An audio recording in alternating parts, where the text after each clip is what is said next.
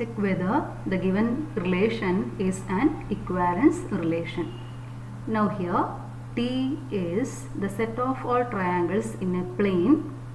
R be a relation on T defined as ordered pair T1 T2 belongs to R if T1 is congruent to T2. If T1 is congruent to T2 then ordered pair T1 T2 belongs to R.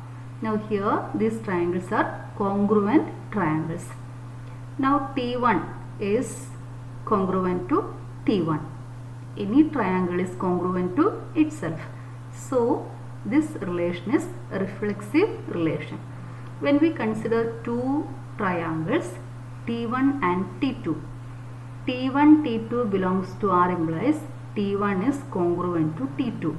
Then automatically T2 is congruent to T1. So this relation is symmetric. Now consider three triangles. T1 is congruent to T2, T2 is congruent to T3. Then automatically this T1 is congruent to T3. So this relation is transitive. So this relation R is reflexive, symmetric and transitive. So it is an equivalence relation. T consists set of all triangles. Now relation R is defined as set of all T1 T2 when T1 is congruent to T2. So here we have some triangles. Now this T1 is congruent to T2, T8 is congruent to T9. Corresponding sides are equal. T8 is congruent to T9, T10 is congruent to T11. So R consists ordered pairs T1 T2, T1 T3 etc. and T8 T9 ordered pair T8 T9 etc. and here we have ordered pair T10 T11. Now this R does not consist ordered pair T1 T8 because T1 is not congruent to T8. T2 is not congruent to T9 so ordered pair T2 T9 not belongs to R. R consists ordered pairs T1 T2 such that T1 is congruent to T2. Consider L set of all lines in the plane.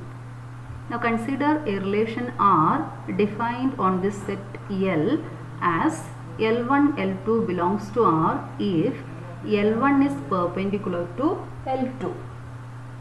L1 L2 belongs to R if L1 is perpendicular to L2. Consider a line L1. This line is L1. L1 is perpendicular to L2 and here we have another line L3. Now we have to check whether this relation is equivalence relation. Now clearly consider the line L1. L1 is not perpendicular to L1. L1 is not perpendicular to L1. So L1 L1 not belongs to R. So R is not reflexive.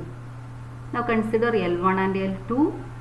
L1 is perpendicular to L2. L1 L2 belongs to R. So L1 perpendicular to L2 which implies L2 perpendicular to L1. So when L1 L2 belongs to R, L2 L1 belongs to R. So R is symmetric. Now consider L1 perpendicular to L2 and L2 perpendicular to L3. Then clearly from this figure L1 is parallel to L3. L1 is not perpendicular to L3. So L1 L3 not belongs to R. So this R is not transitive. So this given relation is not reflexive, not transitive. It is symmetric. Since it is not reflexive, this relation is not an equivalence relation. Now consider a problem.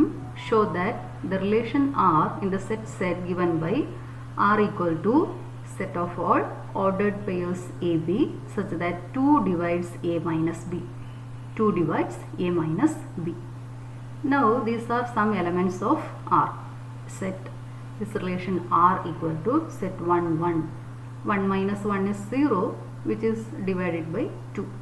1 3 difference between 1 and 3 is 2 which is divisible by 2 1 5 1 7 1 minus 1 1 minus 3 etc when we take when we take 0 0 0 0 2 0 4 0 minus 2 0 minus 4 etc 1 2 not belongs to R because 1 minus 2 is minus 1 which is not divisible by 2 1 minus 4 is minus 3 which is not divisible by 2 1 4 not belongs to R.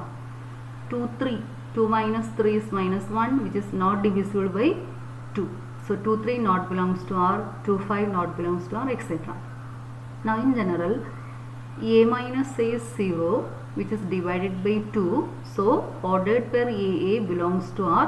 For all A belongs to Z. So R is reflexive. Now when AB belongs to R 2 divides A minus B which implies 2 divides B minus A. So BA belongs to R. For all AB belongs to Z. So R is symmetric now consider two elements AB BC belongs to R AB belongs to R implies 2 divides A minus B BC belongs to R implies 2 divides B minus C. Now we have A minus C equal to A minus B plus B minus C.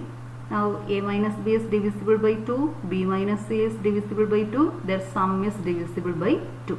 So this A minus C is divisible by 2. So AC belongs to R. So R is transitive.